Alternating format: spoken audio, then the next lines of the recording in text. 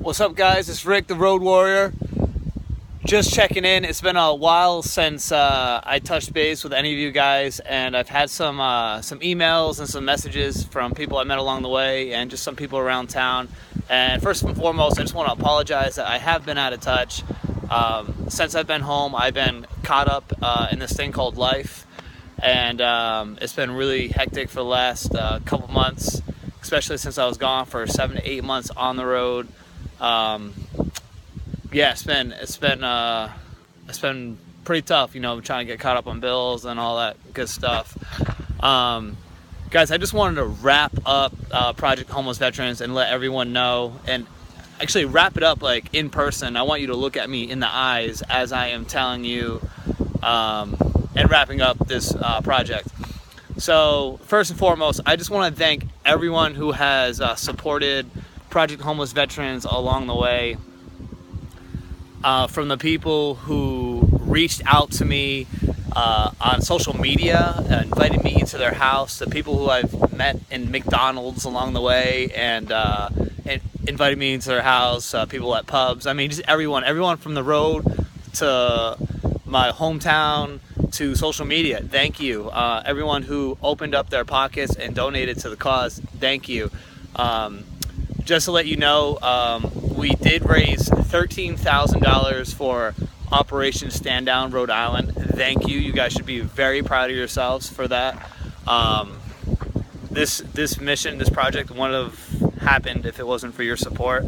And uh, I also just want to apologize for being just for being uh, absent for the last I don't know month or so. Anyway, um, but I just wanted to, to, wrap everything up and let you guys know what the deal was. Um, so yeah, so thirteen thousand dollars we raised for Operation Stand Down Rhode Island in that house. Uh, I'm sorry, th those funds are being are, is operational funds for uh, housing 10 veterans, which is great. Um, there was no like uh, wrap up with them. It was more or less just kind of handed them the money, and and that was that. Uh, that was online fundraising from uh, online fundraising and also the money that you guys sent in directly to Operation Stand Down. So you, you guys should be really proud of yourselves with that. Uh, as of now, um, the Road Warrior still has a bigger purpose to his life, and uh, he has some. Yeah, I'm talking in third person. He, the Road Warrior, he has some ideas uh, in his head, brainstorming of where he wants to go and what he wants to do. But right now, uh, I just really got to get caught up with uh, with all my bills and all that stuff. And that sucks, you know, being responsible sucks. Uh, bills suck. Uh, I think you guys can all relate to that. Um, there was going to be no bicycles across the country for a little while, but that's not out of the picture entirely, trust me. Um, yeah, I got some crazy ideas in my head. So, uh, Project Homeless Veterans was only idea number one. Um, also, yeah, just some you know some personal stuff going on. Um, and hell of it, Janelle, you're gonna be mad at me about this. I want you guys to pray for my sister. Uh, that's my sister's name, Janelle. She's gonna be so mad that I said that. She's like, "Can you stop mentioning my name?" No, Janelle, I can't. I love you. Okay, you're on my mind. What, whatever. Blame me for caring. Pray for my sister. You know, she's uh, she's battling breast cancer. Well, actually, like I don't even look at it as battling. I look at it as conquering because she is thebomb.com. Um, yeah, that's right. I said that. That's not even a website. Can you believe it? Um, oh, I shouldn't even throw that out there. Anyway, so check it out. Uh, she is thebomb.com.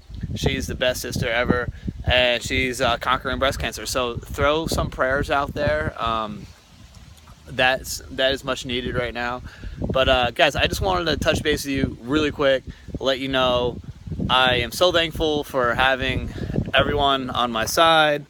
Um, I'm gonna share some stories with you guys uh, later on, just video, and uh, let you guys know uh, some stories on the road that really touched me and impacted my life, and um, and that's how I'm gonna keep in communication with you guys.